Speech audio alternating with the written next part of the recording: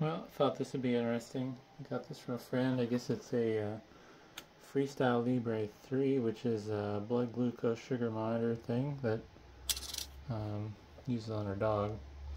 Apparently only good for 14 days, according to the internet, but I was kind of curious to see what's inside them. Never, whoops, seen one before.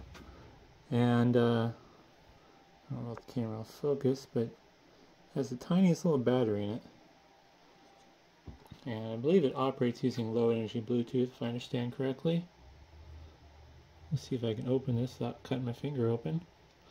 I might have to do it off camera, to be honest. I uh, have a feeling this is sealed up pretty good, so I think I'm going to do it off camera. Alright, well I got it cracked open, which was uh, a bit of a challenge. Obviously these aren't meant to be opened up. But, uh, yeah, filament wire fell off there. I don't know how that's attached. Looks like it's attached to this uh, assembly here.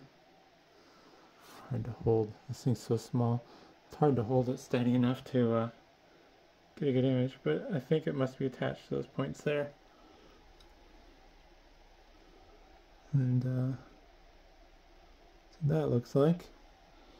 But uh, yeah, just a teeny tiny little battery. Let's see if I can find the orientation. Nope.